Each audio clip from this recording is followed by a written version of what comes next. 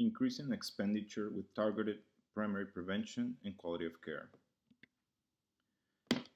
There is no other country in the world expending more in healthcare than the United States.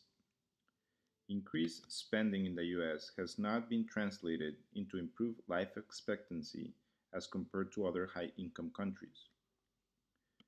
The majority of healthcare expenditure among the US has been primarily attributed to hospital care related conditions and minimally to preventive healthcare services. Obesity is the most important preventable risk factor and contributing to major U.S. morbidity and mortality. The major global epidemic of obesity has been also linked to cardiovascular disease, cancer, and premature mortality while remaining a common associated adverse related risk factor for in-hospital related conditions. To aggravate matters further, individuals in the U.S. remain uninsured with increased numbers of underinsured, particularly among employer health plans. With increased out-of-pocket cost of care impacting both choice and access to health services, uninsured and underinsured individuals are continuously impacted by limited options based on the high expenditure required to access an insurance plan able to address their health needs.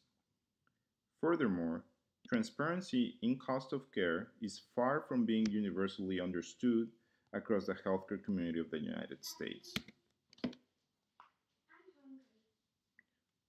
Obesity is the result of a multifactorial entity affected by individuals, plus community and geographical influences.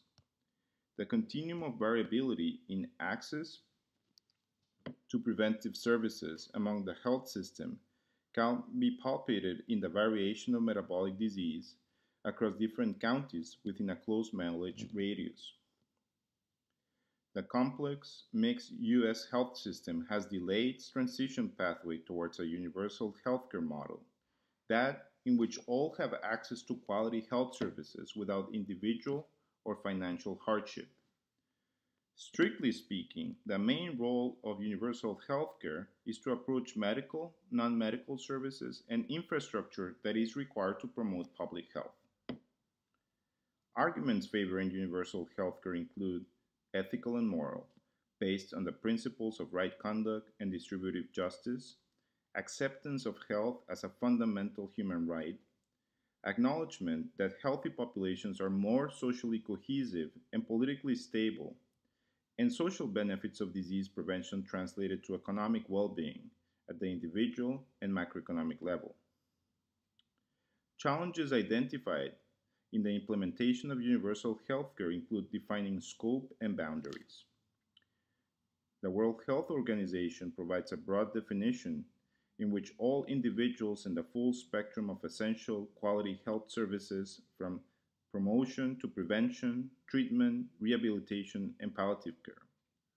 In order to best define and project the realization of universal healthcare, a three-dimensional approach including population, services, and direct cost has been incorporated as the quote-unquote standard frame of reference for countries to follow.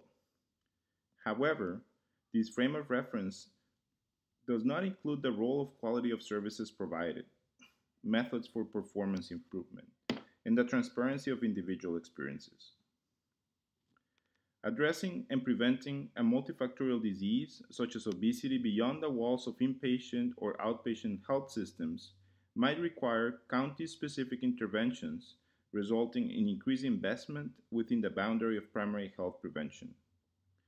The National Health Services in the United Kingdom has implemented universal healthcare and despite the upfront focus on high quality via prevention, priority setting, performance monitoring, integrated, coordinated care, and regulation, continues to struggle with under budget requirements to achieve high performance measures as compared to other similar high income countries with also universal healthcare. Defining the scope of the universal healthcare package with focused targets such as ensuring protections against obesity requires understanding of the socioeconomical factors which at the same time might be able to explain geographical variations. Prevention and modification of obesity warrants geographic specific frames of reference requiring engagement of the community and local stakeholders. Important considerations for universal healthcare implementation include exclusion of ineffective services and expansion of priority services, inclusion of the disadvantaged, low income and rural populations, in addition to reduction of out-of-pocket payments.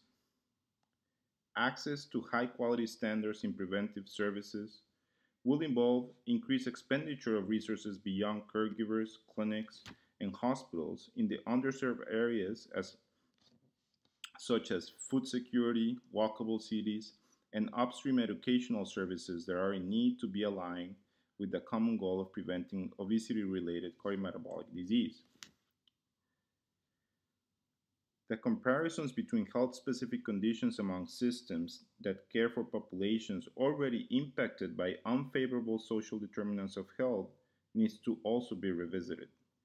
Factors such as access to care, understanding of disease, interaction within the health system, particularly among individuals suffering from chronic illness, might require ongoing crosstalk with universal healthcare initiatives to avoid emergency visits and hospital care related costs.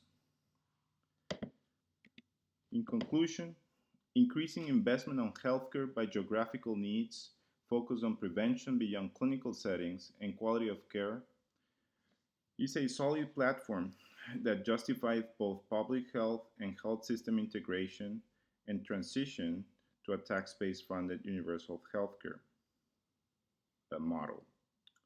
Incorporating universal healthcare in the United States across a population challenged by educational access, widespread obesity, and metabolic associated chronic disease is an opportunity to upstream quality and primary prevention as the top priority for generations to come.